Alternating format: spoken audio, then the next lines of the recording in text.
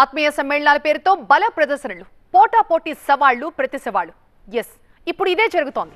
కోనసీమ జిల్లా రామచంద్రాపురం నియోజకవర్గంలో మంత్రి చెల్లిపోయిన వేణు ఎంపీ పిల్లి సుభాష్ వర్గాల మధ్య ఆధిపత్య పోరు తారాస్థాయికి చేరింది. ఇవాళ ఇవాళ మంత్రి వేణు వర్గం ఆత్మీయ సమ్మేళనం నిర్వహిస్తోంది. చోడవరం బైపాస్ రోడ్లో ఒక ఫంక్షన్ హాల్లో మీటింగ్కి అన్ని ఏర్పాట్లు చేశారు. కాసేపట్లో మొదలయ్యే మీటింగ్కి నియోజకవర్గంలోని అన్ని గ్రామాల నుంచి పెద్ద ఎత్తున ఆయన మద్దతుదారులంతా రాబోతున్నారు. ఉన్నట్టుండి ఈ మీటింగ్ ఎందుకు? మొన్న బోస్ వర్గం మీటింగ్కి ఇది కౌంటరా? పరిస్థితి చూస్తే అలాగే కనిపిస్తోంది. వేణు వర్గం దీనిపై పైకి ఎలాంటి కామెంట్స్ చేయడం లేదు.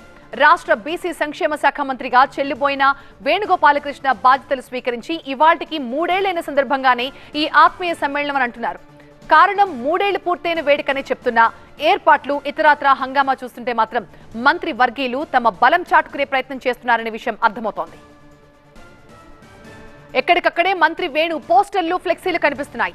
ఈ మీటింగ్ ద్వారా ప్రత్యర్థి వర్గానికి మంత్రి వేణు మద్దతుదారులు ఎలాంటి సంకేతాలు ఇస్తున్నారు? మొన్నటి విమర్శలకు కౌంటర్ ఇస్తారా? ఏం జరుగుతుందనేది ఉత్కంఠ రేపుతోంది.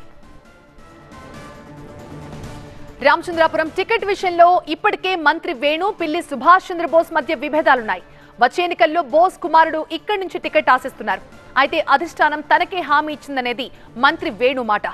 ఈ నేపథ్యంలోనే మొన్న విభేదాలు భగ్గుమరడం దీనిపై బోస్ తాడేపల్లి వెళ్ళి వివరణ ఇవ్వడం కూడా చూశాం.